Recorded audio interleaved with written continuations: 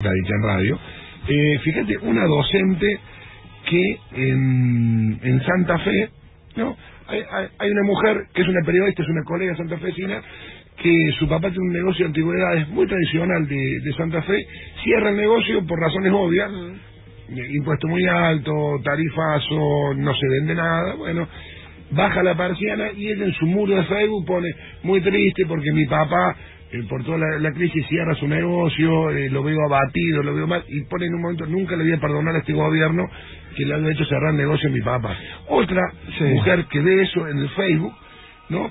Se conmueve bastante y escucha lo que le, lo que le dice una docente a la periodista. Eh, no te conozco, pero vi tu comentario, eh, tu publicación sobre el cierre de el negocio de tu papá eh, te iba a poner algo en solidaridad, pero se me ocurrió meterme tu perfil y vi que apoyás a la delincuente más grande que pudo haber tenido la Argentina y que nos tuvimos que bancar 12 años con el pie en la cabeza. Solamente te voy a decir una cosa. Deja de ser tan necia y tan ignorante, porque veo que sos una hippie, eh, que apoyás eh, cosas que no tienen fundamento. Vi que decía de Lía y Zanini libre. O sea, sos una bruta más que perjudica a nuestro país. Ojalá algún día los hagan desaparecer, como los nazis hicieron desaparecer a los judíos. O eh, ojalá algún día te des cuenta. Esmeralda Mitre parece.